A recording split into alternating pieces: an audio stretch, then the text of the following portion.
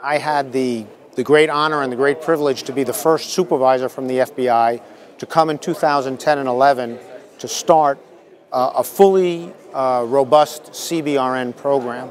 And by that we mean all modalities, chem, bio, rad, and nuke, and each of those modalities would have a dedicated intelligence, prevention program, and operations capability. However, the work on that uh, to bring uh, an FBI uh, senior manager over to start such a program began years earlier. And on the Interpol side, the instrumental people were John Abbott and the Secretary General at the time, Ron Noble. And on the FBI side, um, there were several important parties to include um, Supervisory Special Agent Jeff Mueller, uh, our Assistant Director at the time, Vahid Majidi, and then two analysts, uh, Gretchen Lorenzi and Rob Scrip. Uh, Interpol, prior to the FBI's commitment of a senior manager, Interpol had a very uh, nascent bio prevention program up and running. And uh, that was initially funded by the Sloan Foundation in uh, New York in the United States, and uh, Project Geiger, which, uh, had, which has become the core of Interpol's police intelligence uh, mechanism for uh, the RAD Nuke terrorism prevention unit as it exists today. That was initially funded by the Department of Energy, and um, the FBI took that over in 2010, the funding part, but Department of Energy is a, is a key partner in this. Uh, those, all those efforts came together very nicely in the late 2000s, and we were able to, to develop the relationship to the point where the FBI could commit some resources and start, actually start those complete, full programs incorporating the work that had already been done.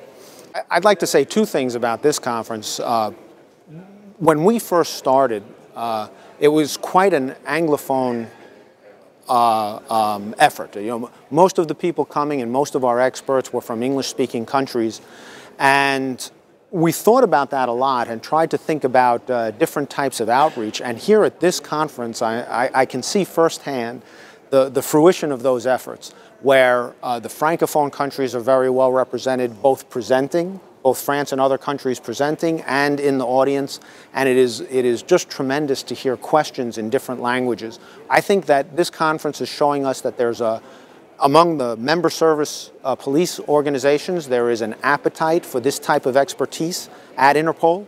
Uh, the countries are hungry not just to, to take the expertise, but to contribute to it as best they can with whatever their programs can bring. And this particular conference is reaching a level of expertise that, uh, um, that I find really quite impressive, considering we've only, really, we only kicked off in 2010. Here it is the very beginning of 2016, and we're discussing very sophisticated ideas and getting a lot of interaction from the audience.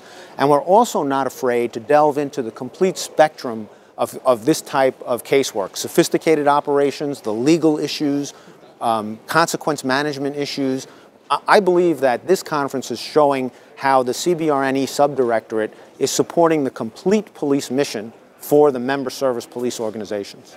There is no one police agency in the world that can afford to develop the expertise to handle all aspects of these cases. And remember, the major goal here is, is prevention. Once we have dissemination, it's too late. And the, the price tag, both in human life and in mitigation goes way, way up. It is our obligation to look at prevention and develop those techniques. And for me, uh, a career police officer with legal academic credentials, to understand nuclear physics, uh, chemical engineering, and the biological organisms that present the highest level of danger to humans it's not quite realistic. I would spend my entire adult life in being educated. So the partnerships to go out to the academic world, the regulatory world, the emergency preparedness world to handle um, the unfortunate eventuality if there is a dissemination. We all must meet together regularly, uh, not just in radiological and nuclear, but in biological and chemical areas as well. And Interpol is leading the charge there. Uh, th this directorate has, has just done tremendous work, not just uh, mobilizing um, nation state programs, but, but inviting our international organization colleagues to get together and to really robustly expand that partnership issue. Without them, we, we don't stand a chance of preventing these disseminations.